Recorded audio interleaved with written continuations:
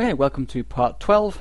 As I said in the previous part, what we're going to be doing in this part is creating the page to view the private message. So at the moment what we have is a way for the user to um, delete their messages, but not to actually view them. Um, to test this, obviously we're going to need some messages, so I've forgotten who I'm logged in as, but I'm just going to send some messages to myself. So me, and the subject can just be one, and then I'll do I don't know. I'll, I'll think of something clever for the next one. Um, so this can just be two, which will say three. Whoa, crazy. Okay, so there we go. If I just go back to my inbox, these are unread. Oh, sorry. Okay, that's something I forgot to mention at the end of last part. Um, these two conversations. Um, that's yeah. Okay, so let me explain by going back to the code. Uh, if we go to our add conversations function or create conversation, um, here where we just simply added the user ID to the um, array of user IDs to insert, we then set the the last read time for them equal to zero, which is not what we want to do. We want to set it equal to the current time. So actually, the best way to do that is most likely just to use this as the default value in the array. So I'm going to remove this and put that there. Except instead of for, well for time, we're going to have the um, Unix timestamp, i.e. now, like so. And also this user ID needs to be the session user ID. So, sorry for being a total pro as usual. Ah, okay, there we go. Nope. There we go. So now what we're doing, instead of the previous method, um, we are using this whole string as a default value, and then we're for every other user, we're setting their time to zero in this loop, and then we're imploding all of that here. So it's essentially the same, except completely different. But anyway, yeah, that's just something I meant to mention almost after I'd said it, but then didn't ever. Okay, so that's that done. So let's go ahead and create the view conversation page. So the first thing we're going to do is add a link here, because if you remember we left this blank as a sort of placeholder. What we want to do is have this link to the correct page, which is fairly obvious. Um, so what we want to link to is index.php and page equals view conversation, uh, I think. And we also need to specify the conversation ID um, so that the conversation ID, the view conversation page knows which conversation data to load. So we're going to specify another variable called conversation ID, and that's going to be equal to some PHP, which is just going to be outputting the conversation ID. So actually, I'm just going to copy this from above because I know this works. It's a pretty simple thing to do, but I um, don't want to make any more typos. so yeah. Anyway, so what we need to do now is just make sure this links to the right place. So let's go back here, just reload this, click on one of these, you can see we get this blank page, and in the URL we have conversation ID equals 3, so that's good.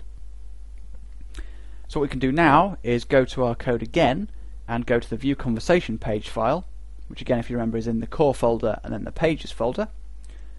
So in this file what we need to do is two things. One of them is show all of the messages, which is what we're going to do first. And the other thing is we need to provide a form for the user to add their own messages. Um, before we do any of that, what I'm going to do is add a div at the top called actions, which is going to specify, well, it's just going to contain two, two useful-ish links. The first one is going to be a link to the inbox page, so it's a link to index.php page equals oops, inbox, and this is just going to say inbox. Oops. And the second one is going to be a logout link, because that might be useful. So index.php page equals logout. And that's just going to say logout. Okay? So that's just two little links that will probably be useful later on.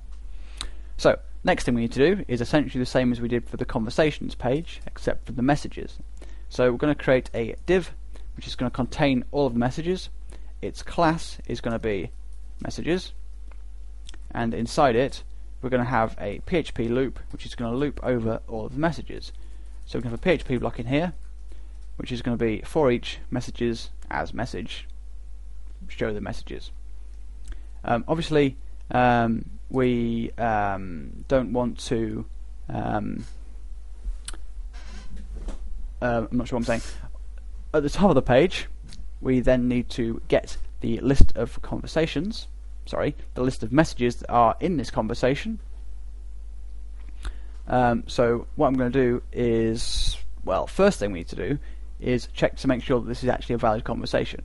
And we're only going to show the messages or fetch the messages if this is a valid conversation.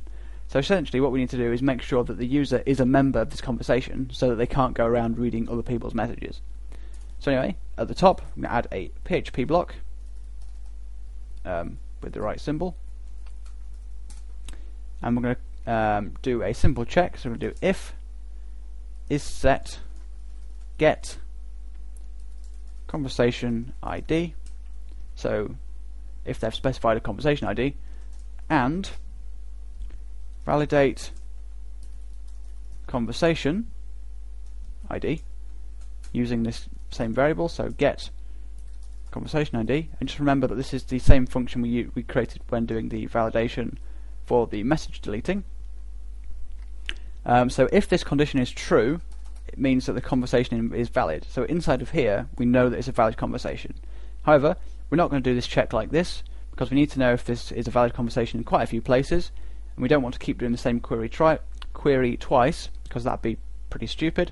So we're going to delete this and set the result of this equal to a variable. So we're going to do valid conversation equals. So that's something you can do. You can set a sort of if statement, but without the if part, i.e. a boolean check, equal to a variable. And you can later use that in other if statements. So we're going to need this twice in total for this page. Um, but as always, we don't want to perform any more queries than are absolutely necessary. So yeah, that's that. So above this, we're going to define an errors array. So the same as before, we always need the errors array. Actually, I believe that might be something I forgot. Yes, that is something I forgot. Um, if you recall when we were um, creating this portion of the code here on the inbox page, um, I said that we needed to define the errors array outside of this if statement below um, because we were also going to check to see if the um, user was a member of the conversation. Um, no, sorry, we were also going to check to see if the user actually had conversations. If they didn't, we were going to show an error message. Um, so we actually need to do that check. So just underneath here, we can do a simple if empty conversations, because we obviously need to get the list of conversations first. Also something that I probably should have pointed out at the time is that this fetch conversation summary has to be done after the conversation is deleted. Otherwise, you'll delete a conversation and it'll still appear until you next time you reload, reload the page. But anyway, it's not something you need to worry about massively at the moment. So anyway, I'm just going to add something to this errors array, which is going to be a string, which is going to say um, you have no messages. Um, and also, we didn't actually ever display these messages, which is a bit of a silly thing to do again on my part, so sorry for that. But what we need to do is loop over the errors only if they're empty, although it doesn't make much difference because looping over an, em an, empty array effectively does nothing. Uh, but we're going to do it anyway, because so, it's just sort of what we do. So we're going to do if empty errors. Then we're going to loop over the array, so for each errors um, as error. Then we're going to output the div error message warning box thingy, who has the class who, uh, which has the class of message and error. That's the red one, and it's going to contain the error, like so. So that's just something we forgot to do in the last part, and we can't really test this at the moment without deleting all my conversations, which isn't something we could do. But unless I forget, we'll test this a bit later on. So sorry for, getting, for forgetting that, but well, I guess you noticed at the time anyway. It was a pretty daft thing just to forget to do. But anyway, it doesn't really matter. Anyway, so going back to what the actual subject of this part was supposed to be, uh, which was the view conversation page, what we were doing was defining our errors array up here equal to be an array and then we're going to perform a few checks below this and then we are going to remember to output the error messages. So just below the validate or the valid conversation check we're going to do simply if valid conversation because we do need this at this point it's just that we need it a bit later on as well so if this is equal to false we're going to set something in, into the errors array or put something into the errors array which is going to be the same message as before invalid conversation ID so not giving too much away but enough to let them make them try a different ID I guess or a different link. Anyway so that's that. Um, and then in this bit here we're going to have a few more error checks related to the submission of the form. And then here we're going to check to see if the errors array is empty and if it isn't which is not what I did before that should be false obviously for very obvious reasons but oh dear not a good day today anyway um, if anyone can work out my average errors per minute um, don't tell me be an interesting stat but don't tell me anyway be depressing. Right, so here we need to do the same thing. So actually what I can do, for the sake of time saving, is just copy this, because we're using the same variable names, so you can just copy and paste that there, and it'll still work. Okay, so that's that done. Um, and what we want to do now is only show the messages and the actions um, if this is a valid conversation. Because the only way that it won't be a valid conversation is if they're trying to mess with our system, basically um, by trying different IDs and trying to read other people's messages and that sort of thing, and inputting invalid data. So what we're going to do is only show them this page effectively if the conversation is valid. So we're going to do another if check here. So if valid, oops, valid conversation, we're going to do this block basically. Um, and the reason, by the way, that we're not just using the errors array to determine this, uh, which we could do, is that say if the user has is on a valid page and they submit the form, we'd put something in the errors array, and then if we check if empty errors here, the whole form will disappear because the errors array won't be empty. But we do want to keep the form there, otherwise, because that'd just be really annoying if they have to like go back, click the message, type it all out again. Um, so yeah, that's why we're doing that. Anyway, um, now we've determined that this is a valid conversation, what we need to do is actually get the data from it. So um, just um, inside this valid conversation block, what we're going to do is fetch the messages.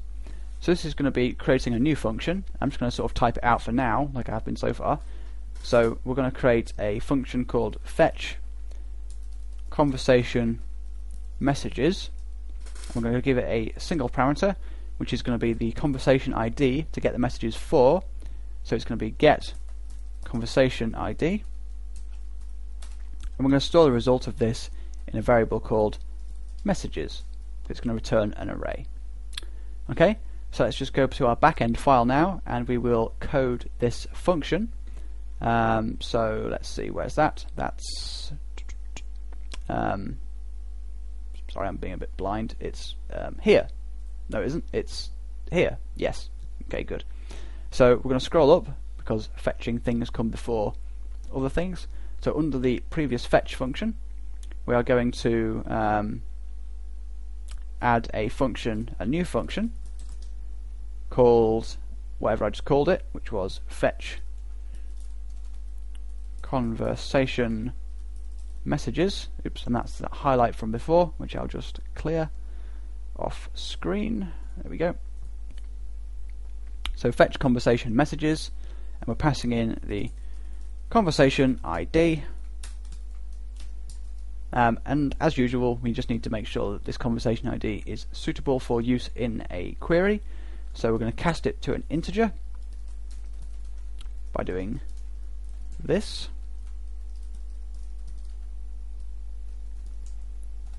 Okay, that's that. Um, and again, this SQL is fairly uh, complicated, So I think what I'm going to do is call this here, um, and then in the next part we will go over the you know finishing off this function. Um, so yeah, that's basically that. So thank you for watching, and come back for part 13, where we'll finish off this function and hopefully get time to test it all out.